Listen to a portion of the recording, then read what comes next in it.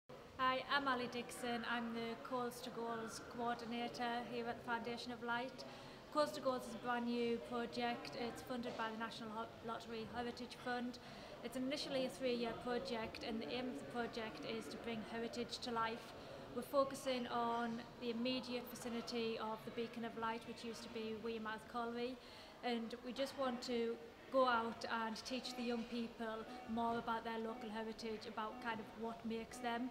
Uh, another part of the project is reaching out to the older people within the community and capturing their memories of working down the colliery but also their memories of supporting Sunderland Football Club over the years.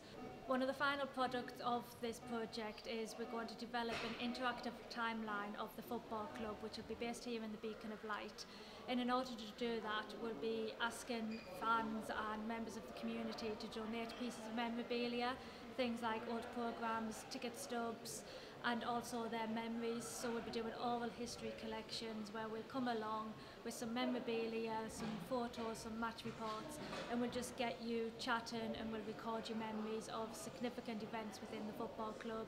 Maybe it was your first time at Walker Park, maybe it was your first time at the Stadium of Light if you're within that era. we just want to gather as many memories as we can from the football club and like I say also from life down in the colliery.